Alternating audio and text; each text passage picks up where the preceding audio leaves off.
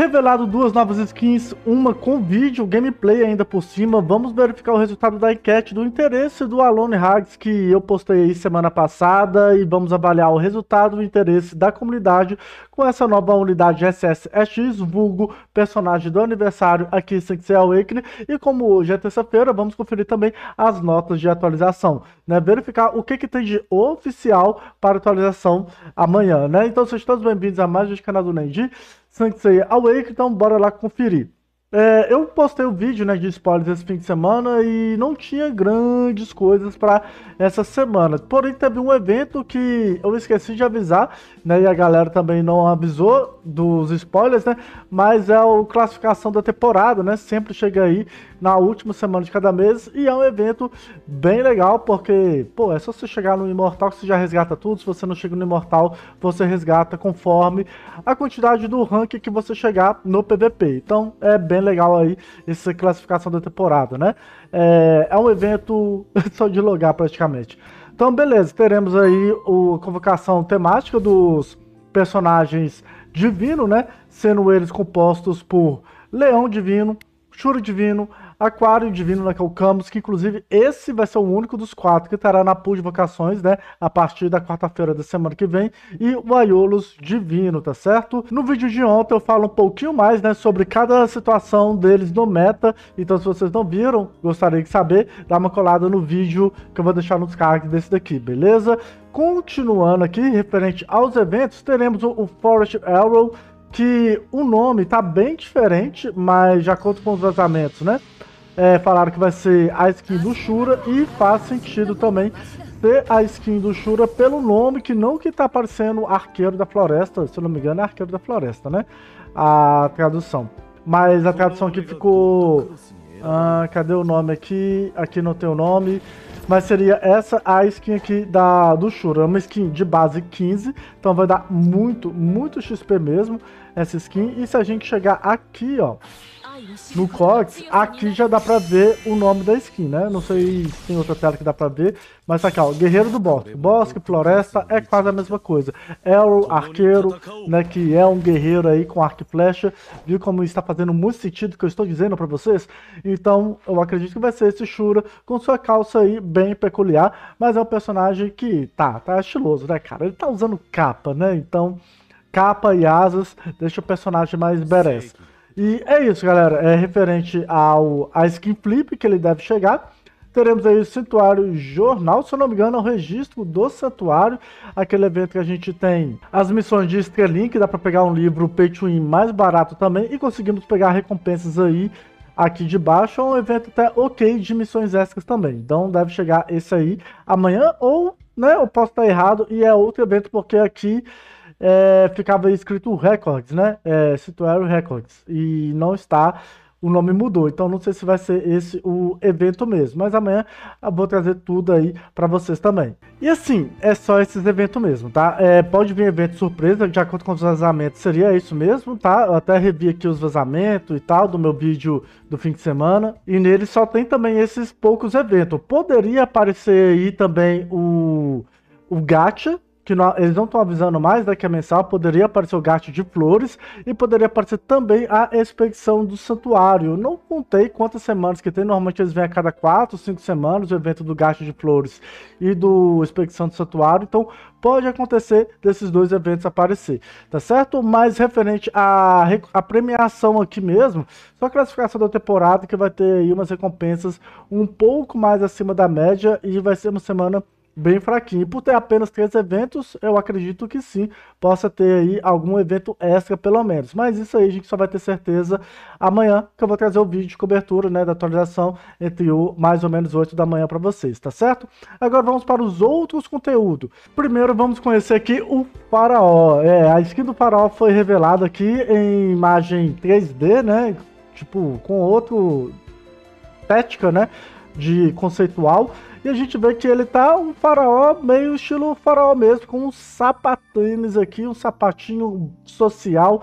Não sei se usavam isso anteriormente, mas é o que ele tinha para a sua fantasia de Faraó. Eu gostei porque pega a temática do personagem também. Então, para mim tá ok. E imagino que a skin no game vai ficar bem, bem estilosa mesmo. E aí, qual nota que vocês dão aí para o faraó. Eu, pela originalidade e, e, baseado na lore do personagem, eu acho que tá 5 estrelas. Para mim tá uma skin aí bem interessante para o personagem faraó. Afinal de contas, ele está usando uma skin dele mesmo, né? Então faz todo sentido ele estar com alguma temática egípcia. Qualquer temática egípcia no faraó, eu irei aprovar que está de acordo com ele. Mas como a gente já vai ter essa também, eu acho meio difícil ele aparecer com outra skin aí de, do Egito. Embora eu poderia usar temática Anubis e tal, seria interessante. A outra skin é a da Marin, né? E da Marin veio aqui com o vídeo de gameplay e revelação. Vamos conferir. Ela é da vibe do colegial, que tem do Ayakos, que a gente recebeu esse mês gratuitamente por login de 22 dias, do Hades e do Minos e da Comandante Pandora, se eu não me engano. Ela tá com o mesmo visual, o mesmo fundo, né? Vocês podem ver aí, é o mesmo fundo do, da parte de cima do colégio, que no meus colégios não tinha isso, só vejo isso nos colégios em animes, né? Pra falar a verdade. Então aqui ela dando seu golpe, ataque básico e sua águia também. Não sei se teve mudança de paleta de cores, mas é isso daí que tivemos da skin da, da Marin. Então é uma skin ok, não, ok não, né? Não tem nada a ver com a personagem, ainda mais que a gente tá falando a Marin, que é uma personagem mestra do Seiya, né? Ela... A, não imagino uma mestra ainda sendo uma colegial. Mas enfim, a skin não tá feia, mas não tem nada a ver com a temática do jogo. Olha aqui, ó, tem as asinhas aqui no, no pé também, ó. Só que parecendo asas do... Esse deve ser asas de águia, mas parece muito do, do Seiya, né? Só que com paleta de cores azul. Mas enfim, esse é o ataque básico dela. Eu acho que não teve nem mudança de paleta de cores na skin dela. Mas é a galera que é fã de garotinhas colegial, né? Que sempre tem a galera que gosta de garotinhas colegial, vai curtir. Então, agora para fechar, vamos ver o resultado da enquete do interesse do Alone Hags Lost Canvas. Mas antes, eu quero deixar aquela moral, galera, com o seu like, a sua inscrição e, se possível, compartilhar. Vocês estão ligados? Isso ajuda demais aqui o canal. Então, vamos ver aqui o resultado da enquete. Então, coloquei aqui.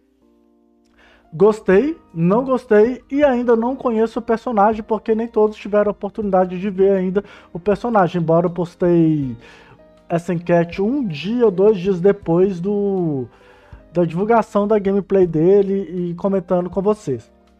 O que que acontece? 57% da galera gostou do Alone e 17% não gostou. É, 26% não votou. Se a gente pegar aqui os 26% e dividir por 2, não dividiria por 2 para aumentar 13% em cada um, porque o interesse da galera que viu é muito maior, então acho que aumentaria aqui pelo menos mais uns 20%, saca? Mas a gente pegar aqui metade, vai dar 70%. Então o Alone até que tá bem aprovado aí, tá com um recebimento bem legal. Eu vi muitos comentários sobre o Alone falando, ah, o personagem ele faz muita coisa, mas não faz muito eficiente. Estilo Poseidon, a exclamação de Atena, que faz muita coisa, mas é nada eficiente eh, no, na, nas várias propostas que o personagem tem. O Alone, ele realmente ele faz muita coisa, mas o, o que eu mais vejo nele, ele é debuffer, tá, galera? Ele não é um DPS principal. Ele vai lembrar muito o Sag Sapuri, por exemplo. Talvez aí, quem mais que é? Um Shijima, só que, né? Melhor, né? Que Shijima meio que é meio estranho comparar. Ele vai lembrar isso, mas ele me lembra muito o Sag Sapuri devido ao aumento de dano que ele aplica na equipe inimiga inteira. Ele provavelmente vai combater demais com dano em área, e dano em área tá no meta hoje. E vamos ver aquele lance da barrinha que a barrinha dele, eu vi no servidor de teste, não estava funcionando. Pelo menos eu não consegui é, identificar que estava funcionando. Dele reduzir a barrinha, pela, a, o enchimento dela pela, pela metade. Se isso acontecer, a gente sabe que Tanato e Serafina estão muito tóxicos hoje no meta. E diminuir pela metade de, das vezes a ativação do, da Tsunami, da Serafina e do poder final do Thanatos vai ajudar e muito. E você poderá jogar com seu Thanatos E se o inimigo não tiver o Alone, o seu Thanatos vai ter, teoricamente, o dobro de chance, o dobro de barra, né, de preenchimento de barra, que é o normal, do que o do inimigo, fazendo com que o seu Thanatos é, enche muito mais barra. Lembrando que o Alone também é um personagem de alvo único, fazendo com que enche menos barra do, da Serafina e do Alone, ó, e do Thanatos também. Se isso funcionar, né, vamos ver amanhã, que amanhã que deve chegar no servidor é, chinês, e eu vou trazer live amanhã de manhã, jogando aqui com vocês e trazer a review à tarde, né, das minhas primeiras impressões, eu estou é, com boas perspectivas aí, perspectiva? É, expectativa que seria o ideal, falar. Estou com boa expectativa aí do Alone, tá, galera? Eu entraria aí nessa vibe de 70% mais, dos interessados aí no Alone, além de ele estar um personagem bem, bem estiloso mesmo. Gostei demais do visual do Alone Lost Canvas. E é isso, né? A, a recepção da galera, pelo menos no servidor de teste. Só lendo o texto, porque a gente não viu a gameplay dele toda certinha, está hypado, imagina se funcionar tudo né? Se funcionar tudo conforme o texto, acredito que possa ser ainda melhor. O único receio que eu tenho dele é referente ao dano, mas o Alone, ele não é o DPS principal, ele seria o suporte de dano, ele lembraria um pouquinho a vibe do Shiryu, do Shun Divino, porém esses aí são mais defensivos, né? Lembraria um pouquinho do Abato, que a longo prazo vai causando dano de sangramento, saca? Quem mais que seria que a longo prazo? Um Lune. Um Lune é tipo isso. O Lune também é aquele personagem que a longo prazo vai causando o seu dano. O Alone será essa vibe, seria um suporte DPS.